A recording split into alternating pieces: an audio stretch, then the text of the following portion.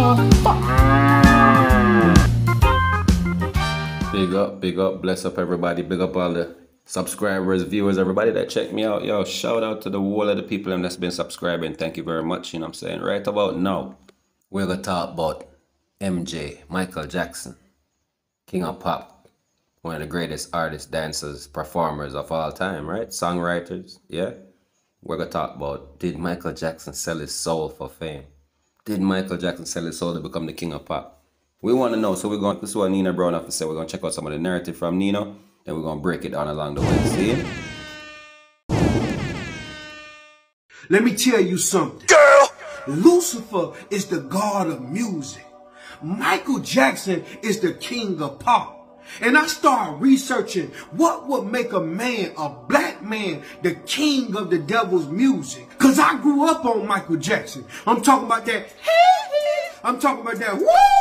I'm talking about that Billie Jean. Not my. I'm talking about that. You are not alone. I'm talking about all that. I grew up on all that. So some dawned on me and say, man, research what made Michael Jackson so big. Because if the internet would have been out when Michael Jackson came out, he would have broke the internet. And I started researching, man. And I discovered that Michael Jackson slept for days to talk to evil spirits just to get hit records before Prince did. Then I found out that Liberace, a well-known LGBTQ legendary piano player, had a secret affair for seven years with Michael Jackson. Liberace was satanic too. It's said that Liberace was the one that turned Michael Jackson on to Satanism. Both Liberace and Michael Jackson was worshippers of Corybantes. Corey Bontes were armed and crested dancers that worshiped the goddess Cybele.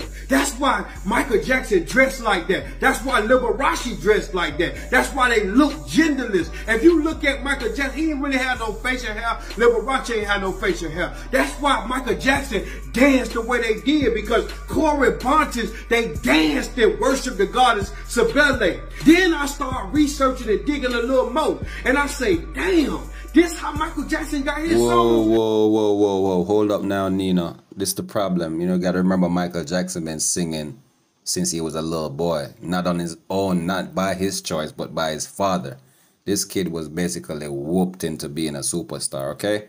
Please keep that in mind, people, when you're watching and listening to all of these stories about Michael Jackson. So, what we're dealing with, in my opinion, we might be dealing with somebody who got sold before he even had a chance to sell himself or try to sell out or whatever people might think. I think Michael Jackson was sold by other people. I don't think he sold his soul like he like personally I believe he was used so much and um never got the chance to um develop his own understanding of how to be a man and he pretty much got played for years. That's an opinion. Further, let's carry on. Oh yeah, oh yeah. I also like to mention, you know, in my opinion, if you ask me, I think Joe Jackson sold Michael's soul before he even knew he had one, you know what I'm saying? That nigga was on the road busting coochie. It really was the Jackson 6, you know what I'm saying? It was three ways that Michael Jackson got his hit songs. He climbed a tree called the tree of knowledge, the giving tree, where he'll sit there until songs come to him. what? You trying to tell me this man had to climb a tree to get a song, bro? You trying to tell, bro, you might as well make me the king of pop. Just give me a jacket and one glove, man, and just make me the king of pop then, because I could write you 10 hit songs without climbing trees. That's crazy, is it?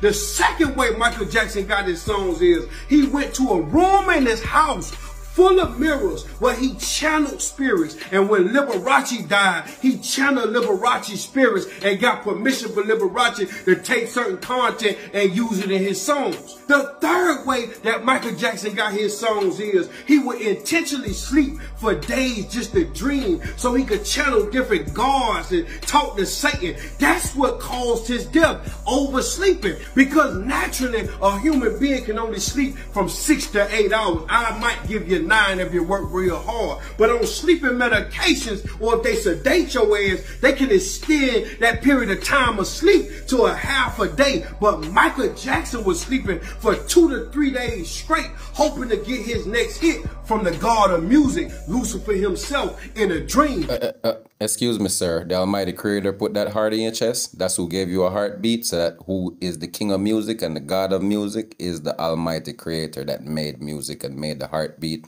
in your chest. Not no Satan. Please chill with all that rumor, rhetoric, crap that y'all digged up from some European philosophy or wherever you learned it. The only king of music is the creator, Almighty Creator himself. Thank you. And you might wonder how Michael Jackson got them sleeping medication, how he got sedated like that. I'm going to tell you, the record labels will spend $150,000 a month to get Michael Jackson sedated illegally. And at the end of each month, Michael Jackson was sending them their money back. He didn't want no direct contact to the goddamn dope dealer. See, I don't figured it out. That's what took him out. The Jackson family tried to sue the doctor, but they lost in a civil suit because it wasn't the doctor's fault. It was Michael Jackson's decision. Okay, you still ain't convinced that this man sold his soul to the devil himself. Let's look at the dangerous album cover. He got Aleister Crowley on the cover, the most wickedest man that ever walked the face of this earth. Aleister Crowley is who the satanic people pray to. Then he got a naked kid holding up a skeleton head. Then he got a dog sitting on the throne. Just like them satanic people got goddamn Baphomet sitting on a goddamn throne. Look like a Doberman picture man with horns on. Pure demonic.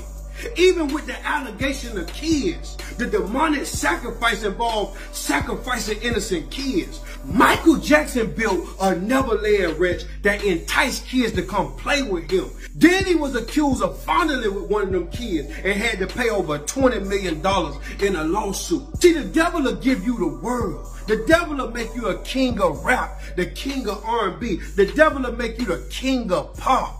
He wants your goddamn soul. He'll give you the world, but you got to give him your soul. See, he don't care about materialistic things. He don't care about Lamborghinis diamonds, big houses. He don't care about giving you millions of dollars. That ain't nothing to him. That's all at the arm's reach of the enemy. But see, what you got to understand is he know what you desire. He don't rest. He don't sleep. And he don't watch TV. He's sitting there watching you while you watching me. See, you gotta think about it. Michael Jackson to this day is still the biggest musician to ever sing a song. But guess what?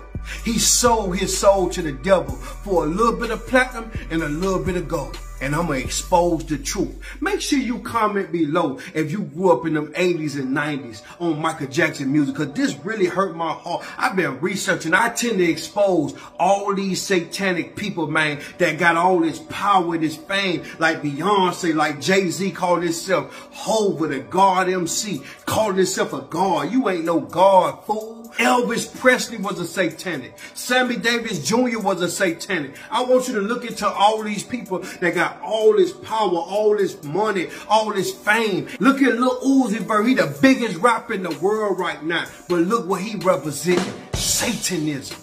And that's what they do. They represent Satanism. And in return, he get them all the fame they want. But he take their soul. Because the soul is more priceless and more precious than a little bit of platinum and a little bit of gold. Y'all make sure y'all comment below. Y'all make sure y'all share this video. Ah, well, who the heck is Lil Uzi Vert? Who the hell is that? How could somebody be the biggest rapper on earth and I don't even know who he is? Yo, basically, people, let me get back into my narrative, man. Look, man, um, you know, Michael Jackson pretty much didn't have a chance to um, see his way through this industry. In my opinion, I think um, he was sold as a kid. You know what I'm saying? He was he was traded off by his own family, father to be exact. You know what I'm saying? I think his mama wanted to save him, but you know what I'm saying? She couldn't do nothing about it. Once daddy got him on the road and was whooping his ass for him to dance and sing Exactly I want you to sing, Michael. Do it. Do it right. Go and do it right, Michael. Come on. Let that goddamn rat boy, leave that goddamn mouse alone, boy. Get get over here and do that dance, I told you. So, you know, I think it came down all the way from, from over there and it just kept on going and Michael didn't have much control over his life because he'd been steered toward, you know, fame and the lights the whole time. He was, he, you know, they plugged him in mentally. They, he's been plugged and programmed for a long time, people. You get what I'm trying to say? So basically, he never had a chance. If you ask me, I think this man had a good soul. I wanted to do the right things and had a lot of good intentions, but he got caught up with the satanists of the music industry. and they pulled him in. They tricked him. He got tricked by people. First thing these Illuminati puppets love to tell you is that they're good people. They're wholesome. They're not evil. It's a lie. That's what I hear from them, like directly. They've messaged me. I'm just going off of what I know. And you always got to remember they said the devil is a liar, right? So maybe they got Michael. They tricked him. Maybe they tricked him over time and told him a bunch of nonsense stuff to get him to do stuff that they wanted him to do. This is how the director chair works in Hollywood too, ain't it?